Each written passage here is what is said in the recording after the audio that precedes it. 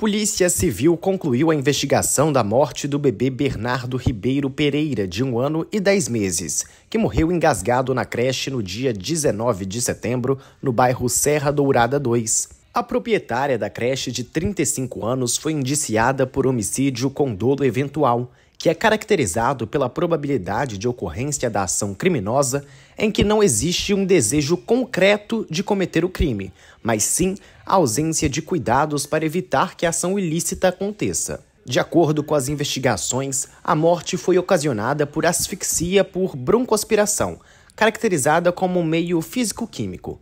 A creche operava sem a devida regularização, sem alvará da Vigilância Sanitária, da Secretaria de Educação e do Corpo de Bombeiros Militar. A fiscalização confirmou a irregularidade, ressaltando que a proprietária tinha registro como microempreendedora individual, mas não constava atividade de cuidadora infantil, além de não ter a capacitação profissional adequada.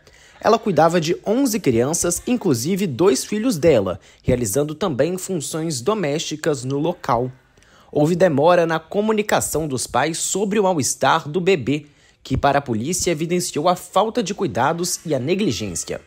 Agora ela responde inicialmente em liberdade.